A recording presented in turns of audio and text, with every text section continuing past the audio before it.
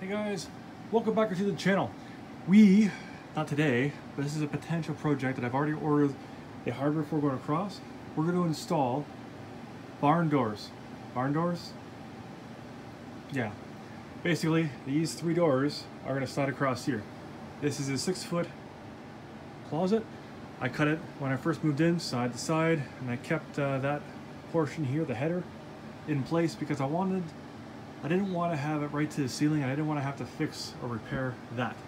Now, that all being said, this is going to be somewhat fixed. I'm just going to mud it and whatnot just to kind of get it done. Uh, eventually, I want do want to put crown molding here, which is why we never painted up there. That's six years ago. And then we're going to have three doors. So six feet going across, that's why I said that.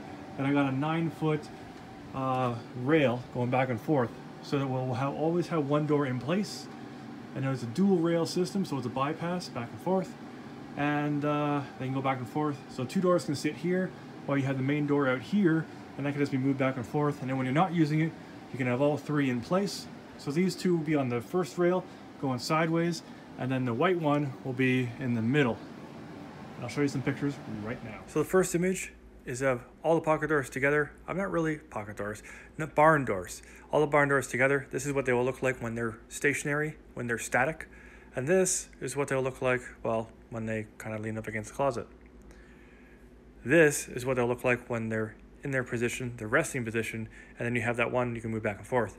This is what they look like at the store formats. They look all nice, prim, and proper. And these are the two channels that I was talking about so they can bypass each other back and forth. So that is what the project is going to be once I get the hardware installed or coming. Um, supposed to be sometime in the 5th of November. So let's say mid-November, who knows. Um, but it'll be a fun little project. I don't personally like barn doors. I'm a pocket door kind of guy. And I try to sway all my customers to put install pocket doors. My mom decided that she wanted a barn door, so this is what she gets. At least after six years, she has an idea what she wants to be put in that to that closet. I was just gonna throw those doors out. She's like, no, we can use them. And she only meant two doors, but now we have three. This will be fun. Anyways, this is a future project. So give me two weeks to get it done and I'll make a video on installing the hardware for a barn door.